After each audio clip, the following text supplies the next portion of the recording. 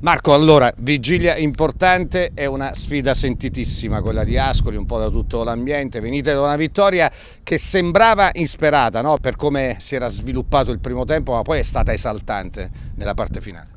Ma sicuramente veniamo da una delle vittorie più belle che abbiamo fatto finora in campionato perché comunque ci abbiamo creduto fino alla fine e siamo riusciti a ribaltare una partita non facile, poi Comunque ora diciamo che anche i tifosi ci hanno dato una grossa spinta e quindi ora affrontiamo questa partita che comunque per noi è importante per tutto l'ambiente.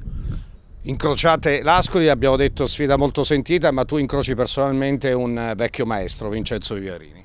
Ah sì, il mister mi fa sempre piacere incontrarlo. Vecchio tra virgolette. Eh? no sì sì, il mister, il mister mi ha insegnato molto quindi mi fa molto piacere incontrarlo.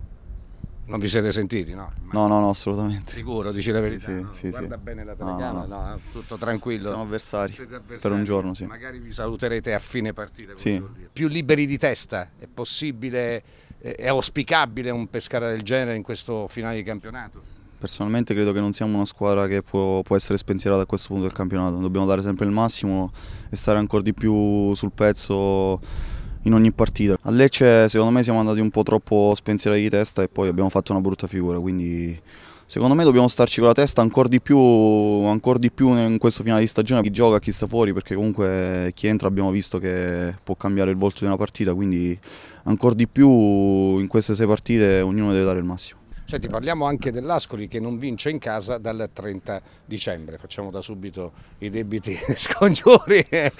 non so se si è visto, eh. Diego eh, non ha inquadrato, no, è stato bravo, non ha colto l'attimo, diciamo così. Però ecco, è una squadra anche l'Ascoli che ha ripreso, se vogliamo, vigore no? dopo l'ultima partita. Ma l'Ascoli diciamo che comunque è andato a fare una, una grande vittoria a Padova, l'ultima, e quindi sicuramente L'ambiente ora caricherà la squadra perché è una partita a cui tengono molto anche loro. Io credo che possiamo giocarcela alla grande, quindi spero molto in noi perché è una partita a cui tengo molto personalmente e quindi spero faremo una bella partita. Hai letto il comunicato dei tifosi? Sì, sì, ci è arrivato ieri a tutta la squadra, spero di, di dare il massimo anche per loro.